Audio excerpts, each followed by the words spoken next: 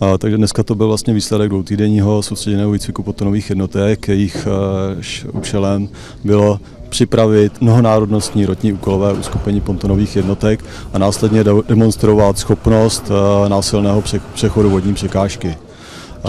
Dnes vlastně jste tady viděli plavidlovou přepravu bojových vozidel pěchoty, dále provoucích obrněných transportérů PTS-10, následně přívozovou přepravu na části pontonové mostové soupravy, která převezla kolové bojové vozidlo pěchoty Pandur a potom zřízení kompletního mostového připraviště ze soupravy PMS, po které na protější břeh přijeli dva tanky T-72.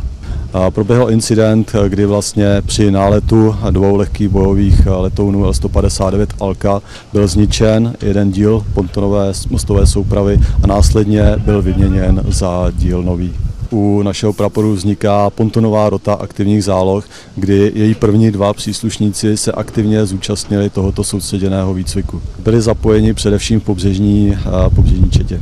Je nás tu 15 Zapojili sme sa tak, že v podstate priniesli sme sem štyroch vodičov, tí v podstate jazdili na Tatrách. Potom sme tu mali 8 pontonistov, ktorí sa priamo zapojili do výcviku na, na vode a dvoch člnárov.